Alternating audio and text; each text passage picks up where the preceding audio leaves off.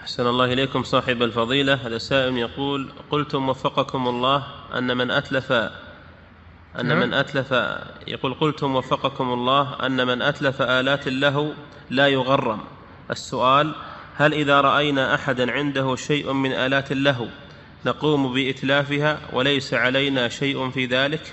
لا يغرم لكن يعزر إذا كان ماله سلطة.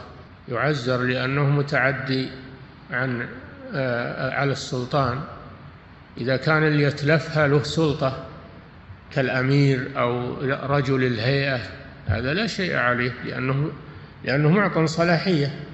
أما إذا كان اللي يتلفها إنسان عادي ما له سلطة فهذا لا يغرم ثمنها لأنه ما لها ثمن لكن يعزر بتصرفه لأن هذا يحدث منه فوضى يحدث منه فوضى وربما يحصل مضاربة أو قتل. فوضى. أما إذا أتلفها صاحب سلطة ما حد يمنعه من هذا.